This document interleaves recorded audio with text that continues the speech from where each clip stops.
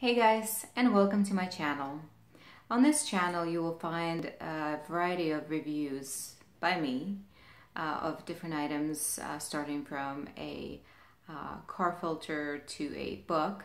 Um, I basically provide my honest opinion about the items I purchase and use on a regular basis um, to hopefully benefit some of you um, so that you make the right choice when purchasing products. There's so many products um, on the market some of them are not so good, and uh, you'll see a lot of my reviews will have some negative opinion as well. So bear with me, provide your feedback and your comments, and I'm looking forward to communicating with you.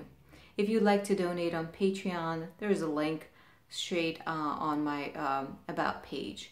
Um, if you have any questions or comments, always submit it in the comments section or just send me an email.